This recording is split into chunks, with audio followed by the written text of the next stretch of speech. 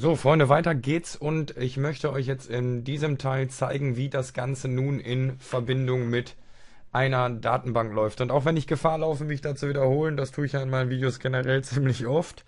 Noch einmal der Hinweis, also wenn wir jetzt hier zum Beispiel bei unserem simplen Beispiel sind, dann rufen wir da eben nur eine bescheuerte JSON-Datei auf. Das heißt also letzten Endes eine Datei, in der eben nur Daten ausgegeben werden. Und genau dasselbe gilt eben später auch für unsere Datenbankdatei, auch wenn jetzt hier eben äh, Code drin ist. Und warum sage ich das so oft? Ähm, die Sache ist, dass halt ich vor Ewigkeiten halt diese Kfz-Scheinwerfersuche gebaut habe. Das heißt, ich habe mir im letzten Jahr schon mal reingezogen, wie das Ganze mit Ajax lief. Jetzt wollte ich halt eben diese Foot-Klamotte machen und hatte den ganzen Kram schon wieder vergessen und habe halt eben tatsächlich gemerkt, scheiße, Alter, ich brauche schon wieder zweieinhalb Tage, um mir das nochmal genau in den Kopf zu rufen, wie das Ganze überhaupt funktionierte. Und mit einer der Knoten in meinem Kopf war halt eben, dass in vielen Tutorials und so, die man im Netz findet, halt eben immer zwei Dateien da sind und die haben in meinem Kopf, warum auch immer, ne? Also ich sage ja deswegen auch, das ist jetzt ein Tutorial für Dummies und Anfänger da in dem Sinne. Die haben in meinem Kopf, der halt eben nicht direkt ein Programmiererkopf in dem Sinne ist, sondern halt eher aus der Designer-Ecke von früher noch kommt. Ich habe mir das halt eben lange angeeignet hier.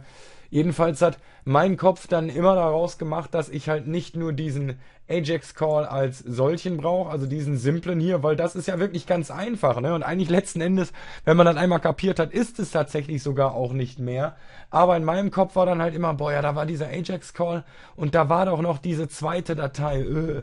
Der Hintergrund ist der, dass in meinem Fall ich halt Daten damals auch mit Joomla ziehen musste oder an bei XT Commerce, wo man eine zweite Datei dann halt eben brauchte, um das zu machen. Aber halt das hat für mich diesen Einstieg eben erschwert und das, um es nochmal drauf runterzubrechen.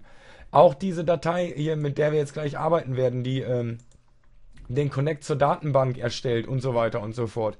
Die macht letztlich nichts anderes als hier am Ende des Tages Daten sauber wieder ausgeben. Das heißt, wenn ich diese Ajax Database Datei in einem Browser direkt aufrufe, also den Pfad zu dieser Datei kenne, dann äh, kann ich hier diesen Aufruf starten und sehe, was sie mir jetzt ausgibt. Das sind also die Daten, auf die ich mit jQuery bzw. Ajax jetzt Zugriff habe.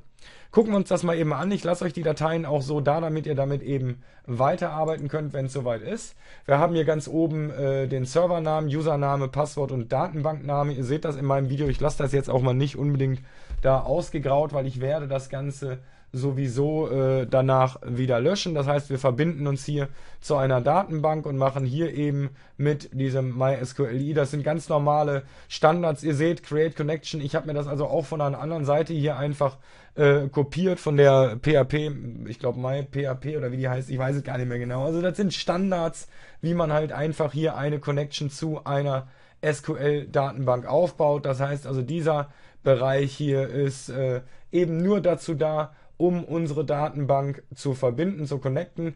Und wenn wir uns das jetzt anschauen, da liegt dahinter eben diese Datenbank, also nur eine kleine Datenbank mit der Tabelle Spieler. Da sind halt eben diese fünf Attribute drin, eine ID, ein Name, Position, Stärke und der Marktwert. Insgesamt habe ich vier Datensätze eingepflegt, die wir jetzt theoretisch aus dieser Datenbank abrufen könnten. Gehen wir mal weiter. Wie gesagt, wir haben jetzt erstmal als allererstes nur die Verbindung erstellt. Ihr seht, ich habe hier noch ein bisschen was auskommentiert. Dazu kommen wir gleich. Und wir gehen jetzt in den nächsten Step und gehen hier als allererstes mal hin und starten in einer Variable den Aufruf Select äh, Sternchen from Spieler. Das heißt also in diesem Fall holen wir uns jetzt alle Daten. Mit diesem Sternchen holen wir eben alle Daten. Also nochmal, ich musste gerade kurz pausieren. Mit dieser Abfrage Select Sternchen vom Spieler holen wir uns eben alle Daten aus der Datenbank und äh, das eben hier packen wir in eine Variable rein, denn hier bei Result werden jetzt die Daten letztlich erst gezogen. Wir erstellen hier die Connection zu unserer Datenbank, starten dann hier diesen äh, SQL-Aufruf. Das heißt, in diesem Moment hier, wenn das hier passiert, äh, dann packen wir in unser Result halt eben alles rein, was da quasi aus der Datenbank gezogen wird. Ich mache es jetzt mal eben relativ simpel. Das Zahl hier ist nur von mir da drin, das brauchen wir jetzt nicht weiter beachten. Ich wollte da vorhin nur was testen, ich nehme es mal eben hier raus. Als nächstes machen wir eine if-Abfrage. Die geht jetzt hin und fragt erstmal, wenn äh, das Ergebnis, also die Anzahl der Reihen, Der ruft ja hier unsere einzelnen Reihen ab aus der Datenbank. Wenn diese Anzahl der Reihen größer ist als 0, dann sollte halt eben dieser Code hier passieren, dann soll das passieren. Wenn wir halt keine Ausgabe haben, also eben in diesem Fall, wenn die Zahl der Reihen eben gleich 0 ist, weil wir keine Ausgabe haben, dann würde er uns hier unten als Ausgabe printen 0 Results. Soweit wollen wir jetzt aber noch gar nicht gehen. Der nächste Punkt, den wir jetzt angucken müssen, ist, dass wir jetzt hier als nächstes, das gucken wir auch noch, noch nicht an, als nächstes äh, in dieser F-Abfrage alle unsere Daten aus der Datenbank ziehen mit einer While-Schleife. Das heißt, wir packen jetzt jeweils äh, die Daten aus der Datenbank in die Variable Row und rufen dann alle einzelnen Schleifen ab. Ihr seht jetzt hier diesen nächsten Aufruf. Ich habe jetzt hier nochmal ein Array gebildet, das Array Ausgabe und in diesem Array sind halt eben alle unsere Werte drin. Und da muss man jetzt ein bisschen aufpassen, denn wenn es später nicht funktioniert, also euer Ajax-Call nicht äh, keine Ergebnisse liefert oder ausprintet, wie auch immer, dann liegt es in vielen, vielen Fällen daran, dass euer JSON oder eben euer Aufruf, euer Zusammenbau von dem Array hier eben falsch ist. Und da muss man halt ganz genau darauf achten, dass man das halt eben, wenn wir davon ausgehen, dass wir mit JSON arbeiten, dass man das halt eben ins entsprechende JSON-Format bringt. Man kann hier unter anderem auf dieser Seite jasonlint.com seine ähm, JSON-Datei einfach mal reinkopieren, auf Validate JSON klicken und wenn hier unten das Ganze grün wird, dann ist tatsächlich alles korrekt. Übrigens, ich hatte vorhin bei einem Video diese eckigen Klammern erwähnt. Diese eckigen Klammern ähm, erzeugen in JSON ein Objekt und diese geschweiften Klammern äh, erzeugen halt eben ein Array. Das heißt, wir haben hier ein großes Objekt mit insgesamt vier JSON Arrays da drin. Und was wir jetzt machen, das ist nämlich halt eben unser, unser Problem. Wenn wir jetzt hier diesen Kram mal eben rausnehmen und auch das hier mal eben rausnehmen. Das heißt, wir gehen jetzt hier an dieser Stelle hin und machen mit einer Schleife, die durchlaufen wir so oft es eben Ergebnisse gibt. Da wir oben keine genauere Spezifizierung vorgenommen haben, wird er uns jetzt alle Ergebnisse aus der Datenbank ziehen. Diese habe ich dann in das Array Ausgabe gepackt. Also das heißt, ich habe eine Variable erzeugt, die habe ich Ausgabe genannt.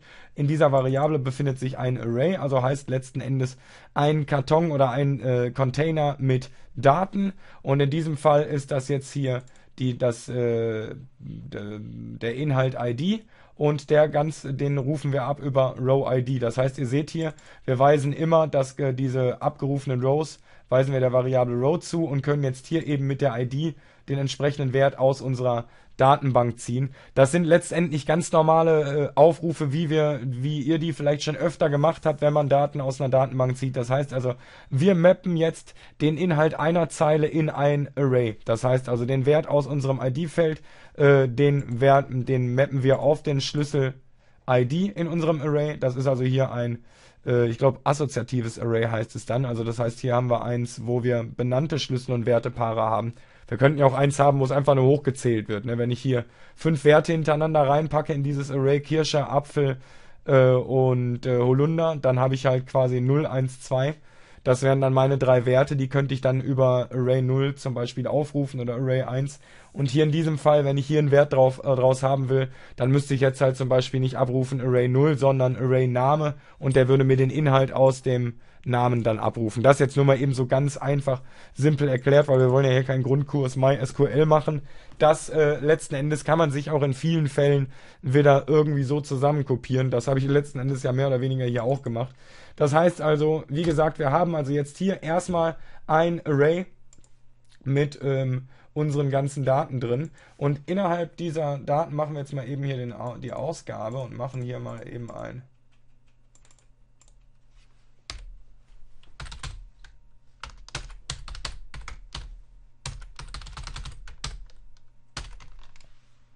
So, und wenn wir das jetzt mal eben aufrufen in unserem Browser,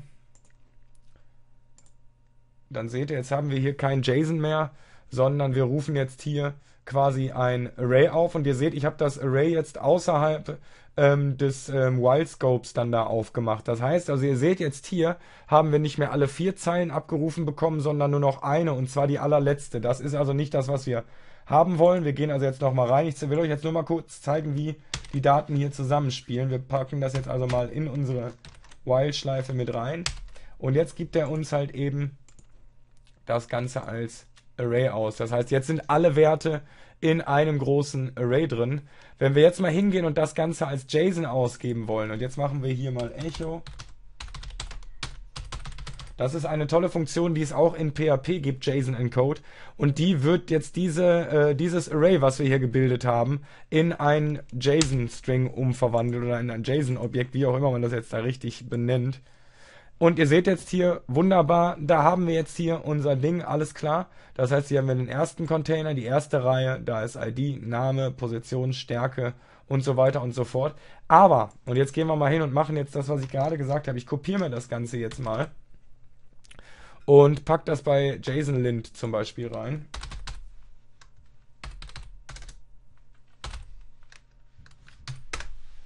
Um da mal einfach zu testen, ob mein JSON-File hier valide ist. Und ihr seht schon, ach du Scheiße, nee, Kacke. Der ist nicht valide. Und woran liegt's? Wenn wir uns das Ganze jetzt nochmal anschauen, dann ist das, was mir jetzt hier gepasst worden ist, eben nicht das, was ich erwartet habe. Wenn ich jetzt hier mal reinschaue, und mir meinen äh, Test-JSON-File angucke, dann sehe ich hier ist einmal dieses JSON-Objekt mit der eckigen Klammer und diese einzelnen JSON-Arrays oder diese kleinen Kästchen mit den Inhalten sind jeweils nochmal Komma separiert. Wenn ich mir das jetzt in meinem Beispiel anschaue, dann seht ihr, hier fehlen einerseits zwischen diesen Arrays fehlen die Kommas und auch die geschweifte Klammer ist jetzt nicht dabei. Und da habe ich auch wieder Ewigkeiten dran gesessen, deswegen kann ich euch das jetzt hier auch so eindringlich nochmal mit ans Herz legen. Wenn später hier eure Ausgabe nicht funktioniert, ich mache das jetzt einfach mal hier, ne, und aktualisiere mal und ihr kriegt hier einen Error oder einen Undefined oder sonst irgendwas, dann liegt das in 99,9% aller Fälle daran, dass euer JSON-File halt einfach nicht valide ist. Also das, was ihr hier rausbekommt, damit kann dann in diesem Fall in jQuery nicht so wirklich gearbeitet werden. Das heißt also, auch mit diesem File kann ich jetzt hier nicht so wirklich großartig was anfangen, denn da werde ich kein sauberes Ergebnis rausbekommen. Ja, ihr seht jetzt hier schon, wenn ich jetzt einfach mal Data ausprinte.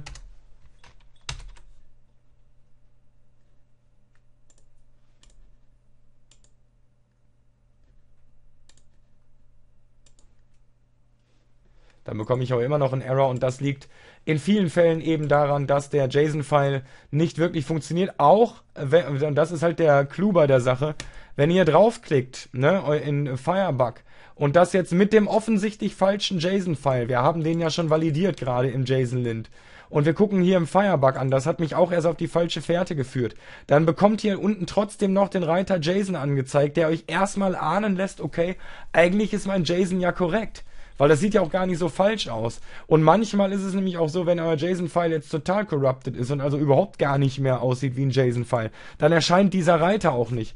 Was einen letzten Endes dann dem Irrglauben verfallen lässt, yo, alles klar, wenn hier unten der Reiter JSON in meinem Firebug drin ist, dann werde ich ja wohl einen validen File haben, aber dem ist halt eben nicht so. Und dann kriege ich auch keine saubere Ausgabe. Wenn ich jetzt hier zum Beispiel hingehen würde und dann ähm, das Ganze äh, Komma separiert dahinschreiben würde, würde das halt eben wieder funktionieren. Aber das klappt halt eben so in diesem Fall nicht. Wir wollen also jetzt hier in diesem Fall müssen wir einmal eben unsere eckige Klammer außenrum bekommen und eben noch zwischen diese Array-Positionen hier dann auch noch Kommas dazwischen, denn wir wollen ja jedes dieser abgerufenen Ergebnisse als einzelnes Array und dann Komma separiert da drin haben. Ich kann euch sagen, da habe ich Ewigkeiten dran gewurstelt. Dabei ist es gar nicht so schwierig, wenn man weiß, wie es geht. Das heißt also, ich mache mal hier eben alles rückgängig, was ich vorhin alles kaputt gemacht habe hier. Was wir zuerst machen, ist außerhalb unseres Variablen, also außerhalb unseres, äh, unserer While-Schleife, einmal das Array Ausgabe schon vorab belegen. In dem Fall machen wir das einfach, in dass wir hinten, dass wir hier die Variable Ausgabe schreiben und dahinter Array mit diesen beiden Klammern. Das heißt, wir erzeugen jetzt vorab schon das Array Ausgabe außerhalb dieser Schleife.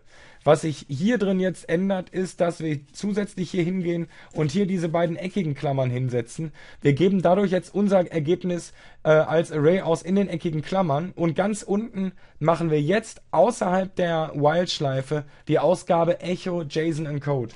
Wenn wir das jetzt abspeichern und uns anschauen, dann, oh Wunder, haben wir jetzt hier unsere eckige Klammer außenrum und auch diese Kommas dazwischen. Und wenn wir jetzt diesen Pfeil nehmen und wieder zum Jason Lind, das hört sich an wie ein Musiker oder so, Jason Lind. wenn wir das jetzt da reinpacken, seht ihr, wir bekommen einen validen JSON-File. Und wenn wir jetzt hier einen Aufruf starten, dann wird dieser auch funktionieren. Also jetzt hier im Moment bekommen wir noch Object, Object, Object, weil das Ganze noch nicht sauber eingerichtet ist, aber wir bekommen auf jeden Fall schon mal keinen Error mehr. Wir bekommen einen Success, denn wir haben hier, wir erinnern uns, wir schauen zurück in diese Datei, hier Alert Data ausgegeben. Also wir geben jetzt alles aus, was in unserer JSON-Datei da gezogen worden ist. Ne? Und das heißt, das funktioniert. Warum funktioniert es? Weil eben unsere JSON-Datei jetzt richtig formatiert ist. So, und nochmal eben zum Mitschreiben, weil wir es anfangs so eingängig äh, eben erwähnt haben. Wir wechseln hier immer zwischen diesem Reiter. Ihr seht, dass wir zwar hier eine Programmierung in so unserer Ajax Database PHP drin haben, dass aber, wenn wir eben diese Datei ausführen, letzten Endes dieses Ergebnis rauskommt. Das heißt also, ich könnte jetzt im übertragenen Sinne auch einfach den ganzen Kabimsel hier kopieren in meine Ajax Database Datei reingehen und hier oben anstatt der PHP halt eben eine JSON Datei aufrufen und äh, das Ganze so dann eben da rausholen. Wobei macht jetzt halt dabei nicht so wirklich viel Sinn. Ne? So, das heißt, jetzt haben wir in erster Linie erstmal komplett alles ausgegeben. Das wollen wir so ja nicht. Ich will jetzt nicht einfach hier äh, die Data ausprinten von ähm, von komplett. Ihr seht ja, da kommt dann auch nur ein Object bei raus. Jetzt können wir im Endeffekt dieselbe Notation anwenden, die wir schon vorab benutzt haben in dem vorherigen Beispiel. Das Einzige, was jetzt da unterscheidet, ist, wir schauen nochmal rein und gucken, nehmen jetzt nochmal Firebug zur Hilfe mit der offensichtlich korrekten Datei. Ups.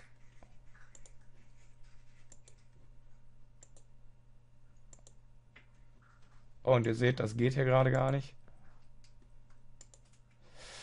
Ähm, wir probieren es mal eben, indem wir jetzt hier einmal was ausgeben. Das heißt also, er sollte jetzt den Namen vom ersten Spieler ausgeben, in diesem Fall Testspieler. Und das passiert dann auch. Okay, alles klar, es ist doch richtig. Ich weiß jetzt nicht, warum der hier in meinem Firebug gerade nicht die JSON-Datei ausgibt. Egal, er kennt es anscheinend. Äh, jetzt ist, obwohl die Datei ein valider JSON-File ist, sagt jetzt mein Firebug, nö, ist keiner mehr. Warum auch immer, egal. Manchmal ist Firebug da ganz hilfreich. In diesem Fall führt das Ganze jetzt etwas in die Irre. Wir müssen also jetzt mal eben hier schauen. Das heißt, wir sehen hier unsere Klammern. Das ist jetzt eben unser Objekt 0. Dann Komma separiert dahinter 1, 2 und die 3. Wenn wir jetzt also hier reinschreiben würden, Alert Data 3. Dann bekommen wir jetzt den nächsten Testspieler ausgeliefert. In diesem Fall 0, 1, 2. Das müsste jetzt sogar Testspieler 4 dann sein in der Ausgabe eigentlich. Ja, dem ist auch so. Das heißt also, ihr seht jetzt, wir bekommen jetzt hier mit diesem Aufruf ganz, ganz simpel unsere Daten geliefert und haben jetzt quasi das aller, aller, aller, aller einfachste Ergebnis erzeugt. Das heißt, wir rufen jetzt hier einfach nur irgendwelche Daten auf. Jetzt können wir das Ganze natürlich noch eben etwas spezifizieren und jetzt kommen auch das erste Mal die ähm, diese Sachen hier zum Tragen. Übrigens ganz wichtig, ähm, das funktioniert übrigens glaube ich auch nicht hier. Das hatte ich nämlich auch noch eingefügt, bevor wir das vergessen. Ich teste es mal eben.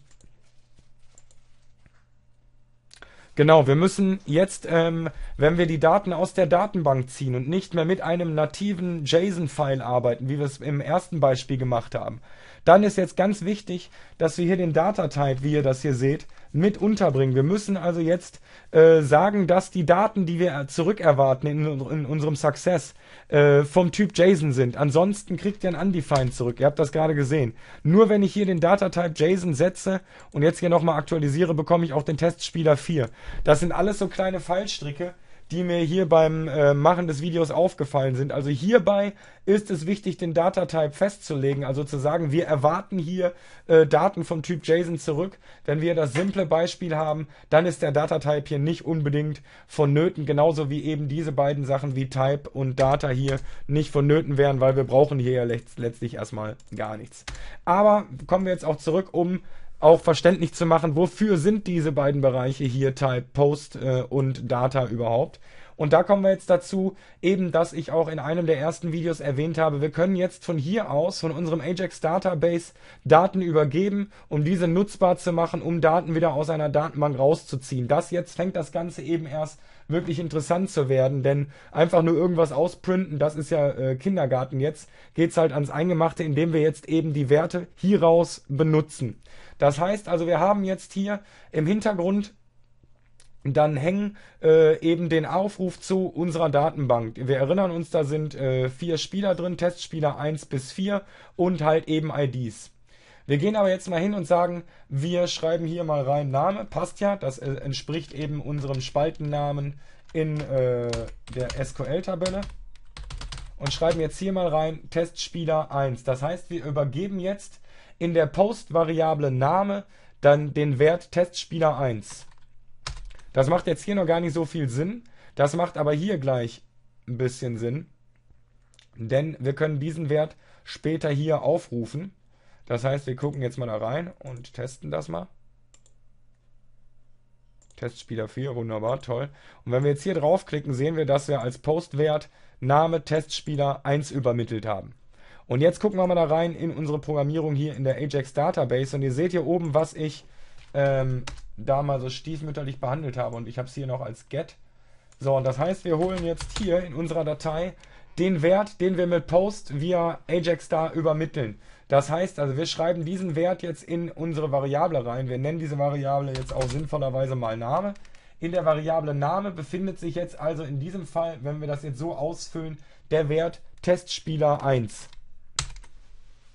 So, das Ganze macht jetzt noch nicht wirklich Sinn, ne? weil wir natürlich jetzt eben das auch äh, das zusammenführen müssen. Wenn wir jetzt also hier gucken. Ups.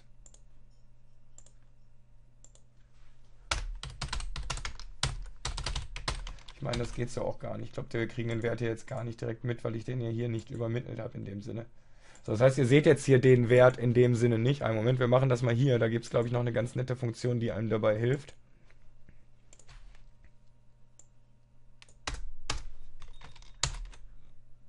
Da dürfen wir übrigens auch keine Fehler machen. Ihr seht, das ist jetzt auch wieder so eine Sache, wo ein Fehler passieren kann. Ihr seht, ich habe da einfach ein Echo reingeschrieben. In dem Moment, wo ich jetzt hier ein Echo reinschreibe und etwas von meiner, äh, von der Struktur meiner Datei, die hinten ausgegeben wird, also das soll ja hier ein simpler JSON-File bleiben. Sobald ich hier etwas von der Struktur verändere oder eine Leerzeile oder so einbauen, habe ich hier vorne natürlich ein Undefined zu erwarten, weil es eben kein sauberer JSON mehr ist. Ne? Also das nur mal kurz am Rande. Sobald ich hier irgendwo ein Echo mit reinprinte, das wie gesagt ist wieder der Casus Knacktus, den man dann da im Kopf behalten muss. Das heißt also, ich habe jetzt hier gerade den Namen ausgeprintet. Ich mache es trotzdem nochmal, auch wenn wir dann jetzt einen Fehler bekommen. Ich hoffe, wir können das hier mal eben nachstellen. So. Wir kriegen jetzt hier einen Error. Aber ich meine, ich kann hier die Seite mit der rechten Maustaste in einem neuen Tab öffnen. Und sehe jetzt hier genau, okay, so können wir es ein bisschen begreifbarer machen, damit das für euch nachvollziehbarer ist. Das wäre, wie gesagt, für mich dann auch immer so eine Problematik. Wir sind jetzt hier in der Ajax Database. Diese Datei rufen wir letzten Endes auf. Ja? Das heißt also in der Ajax Database passiert also quasi das, was ich gerade gesagt habe oder was wir hier eben eingebaut haben.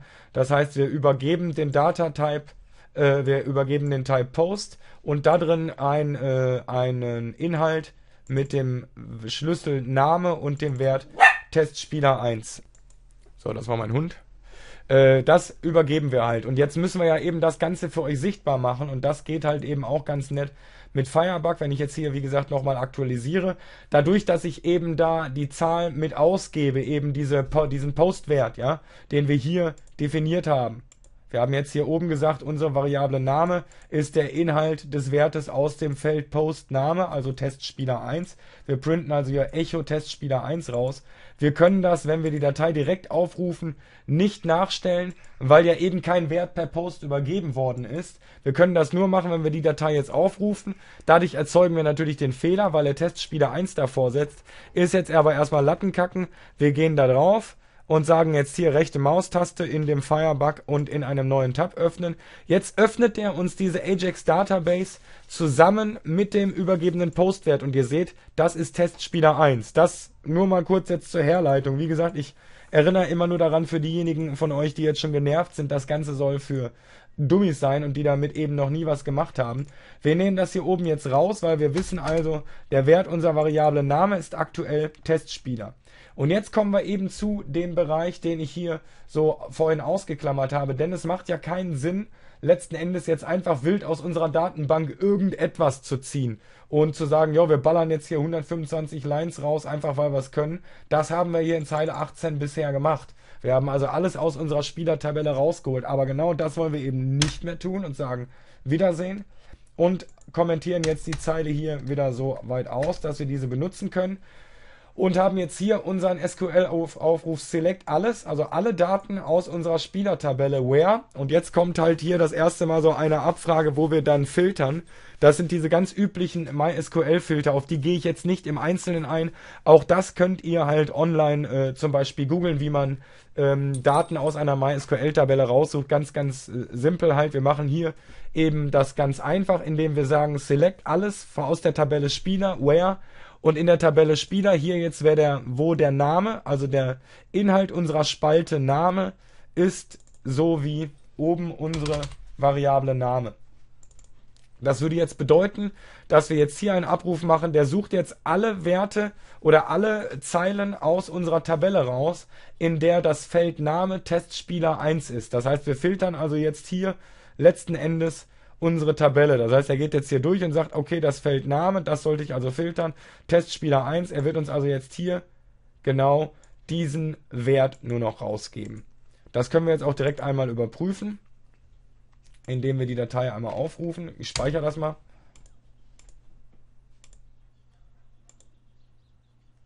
Ups.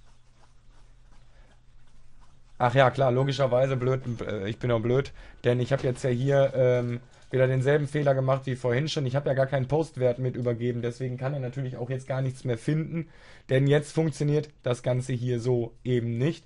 Das heißt, wir müssen jetzt nochmal eben die Ajax Database aufrufen und wissen jetzt ja, dass wir da die Testspieler 1 eingegeben haben.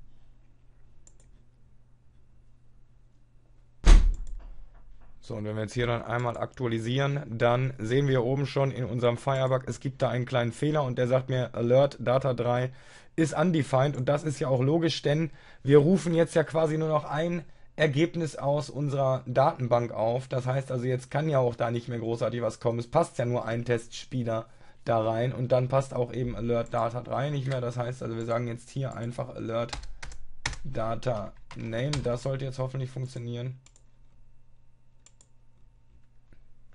Das ist auch noch undefined.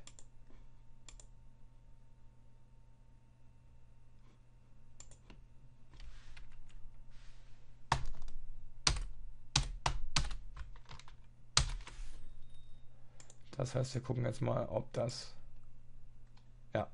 Okay, wir hatten jetzt hier ein Objekt erzeugt. Wir müssen da jetzt auch wieder ein bisschen aufpassen, wie wir eben unsere Daten hier zusammenstellen. Das heißt also, ich müsste mal eben kurz nachschauen, ob, wenn ich jetzt hier das, ihr seht, ich bin da auch noch nicht ganz so firm drin. Wenn wir jetzt nur hingehen und das mal in den Jason Lind, unseren guten Freund, wenn wir dem das mal zum Fressen geben und dann schauen,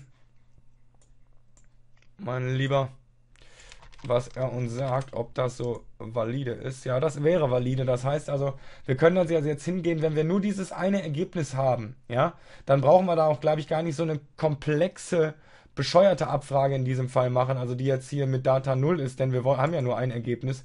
Dann könnten wir in diesem Fall jetzt hier diesen ganzen Krams mit dem Array wieder rausnehmen. Denn wir haben ja, wie gesagt, eh nur ein Ergebnis zu erwarten dann sollte unsere Ausgabe wieder eine andere sein und wir dürften jetzt auch hier trotzdem ein Ergebnis bekommen. Das ist der Fall, wenn wir natürlich jetzt hier das Data 0 auch wegnehmen, damit es eben kürzer ist. So. Das nur mal, um euch zu zeigen, also wie ihr die Daten dann da aufruft. Ob ihr jetzt halt eben dieses Data 0, das hing halt eben damit zusammen, dass ich halt eben noch ein äh, Objekt dann eben erzeugt habe, beziehungsweise ein Array.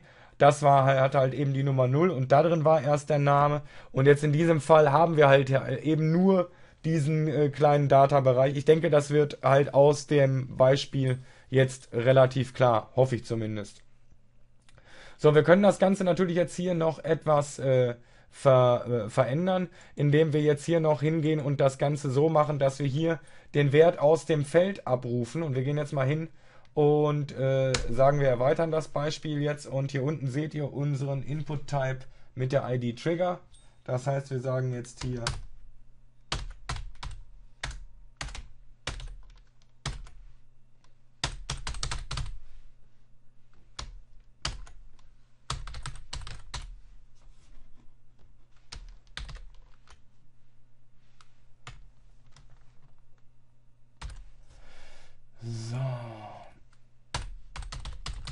Trigger.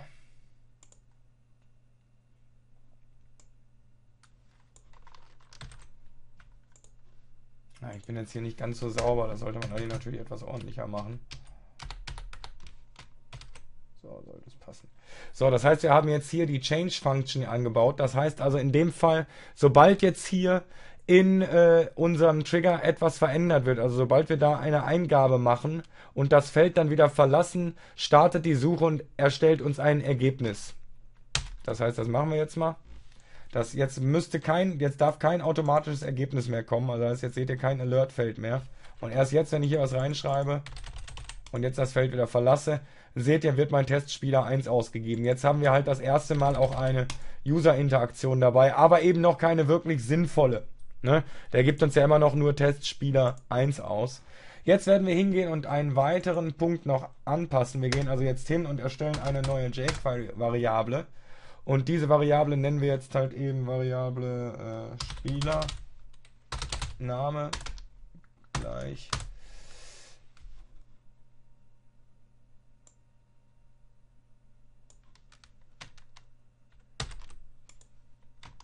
So, und das müsste jetzt so funktionieren. So, das heißt also, wir haben jetzt die Variable Spielername erzeugt und in diese Variable Spielername packen wir den Inhalt aus unserem Inputfeld mit der ID Trigger. Ihr seht das hier unten ID Trigger. Wenn ich jetzt also in dieses Inputfeld Testspieler reinschreibe, Testspieler 1 zum Beispiel, dann sollte das auf die Variable Spielername gemappt werden. Wir machen das jetzt mal eben, bevor wir weiterbauen. Netz sind dafür immer dann halt eben diese Alerts. Machen wir mal eben und sagen jetzt Alert Spielername.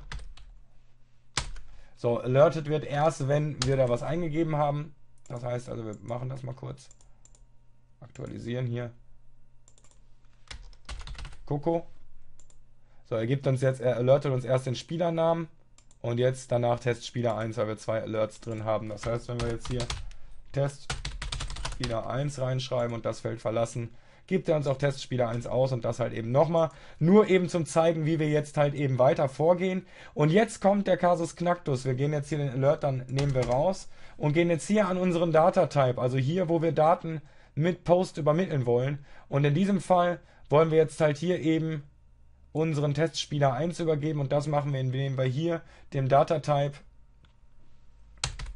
bei Name die Variable Spielername zuweisen. So sollte das jetzt hoffentlich funktionieren.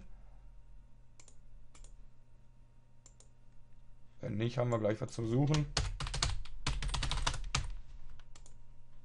Er gibt uns jetzt einen Error aus. Das liegt sicherlich daran, dass ich hier irgendwas falsch gemacht habe.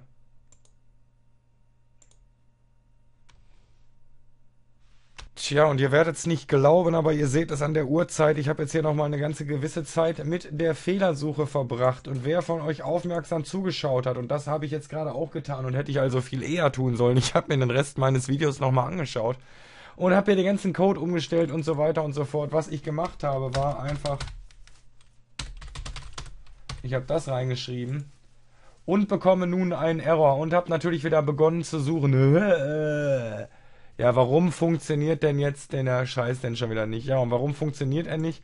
Weil ich einfach ein Idiot bin und da oben nicht Testspieler, sondern Testpieler eingetragen habe. So kann man auch seine Zeit mit Suchen verbringen, denn wenn ich jetzt Testspieler 1 eintrage, dann findet er das eben auch oder Testspieler 3. So, und ich kann das Ganze natürlich jetzt noch eben weitermachen. Das heißt, also ich könnte jetzt hier hingehen und sagen, ich will halt zwar nach dem Spielernamen suchen, ich möchte aber nicht äh, seinen ähm, Namen ausgeben lassen, sondern in diesem Fall seine Stärke. Und wir erinnern uns, das Ganze wird ja eben aus den JSON-Daten geholt. Die JSON-Daten sind halt hier so formatiert und die Stärke ist halt eben mit AE geschrieben. Ich denke, wer jetzt aufmerksam zugeschaut hat, wird den Punkt da schon erwischt haben. Wenn ich jetzt also hier Testspieler 4 reinschreibe, dann ich, bekomme ich nun seine Stärke angezeigt. Eben was ihr seht hier, wir haben jetzt hier eine Suche in der Datenbank, ohne dass wir oben einen Reload gemacht haben. Und jetzt hat es endlich funktioniert. Ganz, ganz wichtig, warum habe ich gerade diesen Error bekommen und was macht man da? Also ich habe jetzt hier einfach das Falsche eingegeben. So, das heißt also, wenn ich da, äh, ich habe jetzt eben keinen JSON zurückbekommen. Das heißt also jetzt dadurch, dass ich jetzt hier oben Scheiße eingegeben habe, war meine Datenbankabfrage natürlich nicht erfolgreich. Wenn ich jetzt hier wieder den, den äh, Firebug zur Hand nehme, der halt eben bei so Suchen mein bester Freund ist, dann gehe ich hier hin und sage in neuem Tab kopieren, äh, in neuem Tab öffnen und sehe, meine Ausgabe ist 0 Results. Das bedeutet, wenn ich jetzt hier eine analytische Fehlersuche betreiben wollen würde, dann sehe ich also hier, dass ich hier schon den Fehler bekomme, dass anscheinend gar keine richtige Ausgabe gegriffen hat. Also ich zeige euch nur mal kurz, wie man da einem Fehler auf die Schliche kommen könnte, dass man halt hier zum Beispiel den SQL nochmal ausgibt und eben halt hier sagt Echo SQL. Dadurch gehen wir natürlich hin und erzeugen jetzt definitiv auch auf jeden Fall wieder ein defektes Ausgabeergebnis, wenn wir jetzt Testspieler, wenn wir jetzt sogar was Richtiges reinschreiben kriegen wir jetzt trotzdem einen Error. Warum? Weil halt eben, wenn ich mir jetzt hier die Datei wieder anschaue, in neuem Tab Select, dann habe ich jetzt die Select-Ausgabe mal gemacht und sage Select from Spieler where name Testspieler 2. Das heißt, ihr seht jetzt, ah, alles klar, die Ausgabe hat aber funktioniert. Warum funktioniert es jetzt halt eben nicht? Weil ich halt hier an dieser Stelle einen JSON zurück erwarte und das kann er halt eben so nicht ausgeben, weil das hier ist eben kein JSON. So, das heißt also, ihr habt jetzt gesehen in den äh, Parts, wie kann man jetzt hier das äh, sauber durchsuchen, wie kann ich jetzt hier das Ganze auch in meiner Datenbank anwenden. Wir können jetzt hinterher später noch in einem weiteren Video dann nochmal genauer uns anschauen, wie man so Suchoperationen durchführt. Aber hier beschließe ich das Ganze jetzt erstmal, wie man halt eben hier jetzt relativ simpel Daten aus der Datenbank zieht und diese dann auch relativ einfach zur Ausgabe bringt. Wir können das Ganze hier zum Beispiel jetzt eben nochmal einen ganz kleinen Tacken verschönern, indem wir sagen, alles klar, wir wollen auch jetzt hier, wie bei unserem vorherigen Beispiel, das Ganze dem Ergebnis-Diff zugehörig machen und sagen dann da append und in diesem Fall jetzt wieder ein Pi da hinten auch noch eins.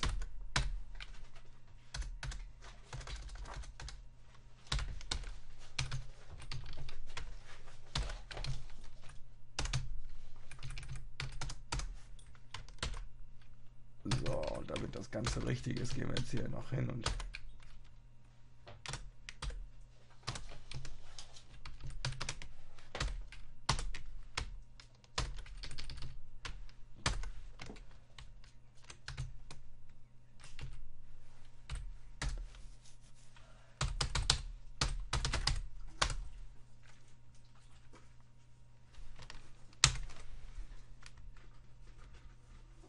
So. Wenn wir jetzt hier etwas eingeben, dann wird das Ganze nicht mehr als Alert ausgegeben, sondern gar nicht mehr.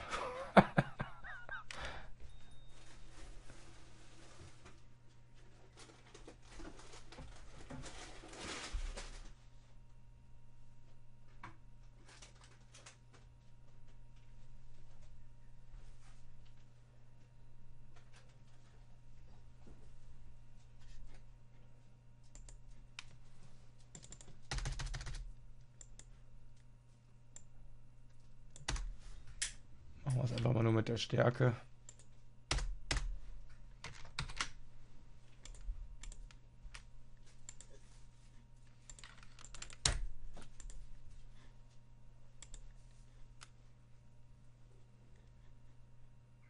Irgendwo habe ich jetzt hier Mist gebaut.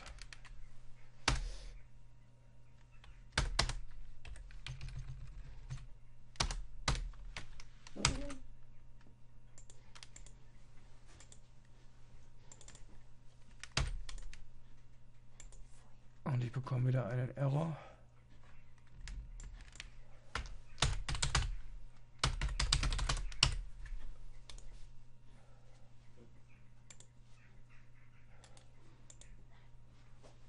Ach. Ja, natürlich, jetzt kann es auch hier nicht funktionieren. Ihr seht, auch hier hat mir Firebox jetzt wieder geholfen, weil ich halt eben hier noch dieses Echo SQL drin habe, war jetzt das, was ich zurückbekomme, halt eben kein JSON an der Stelle. Und jetzt geht's auch. Jetzt werden da oben die Ergebnisse ausgegeben. Er addet die jetzt immer unten weiter dran. Man könnte das Ganze jetzt halt weiterspinnen und dann bis ins Detail ausarbeiten. Soweit wollen wir jetzt nicht gehen. Das reicht erstmal bis hierhin. Wir sehen uns im nächsten Video. Vielen Dank. Bis dann. Ciao.